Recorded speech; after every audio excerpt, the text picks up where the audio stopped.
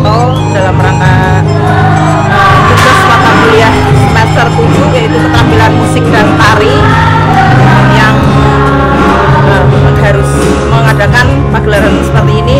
Ini untuk meningkatkan kreativitas dari mahasiswa yang diharapkan nanti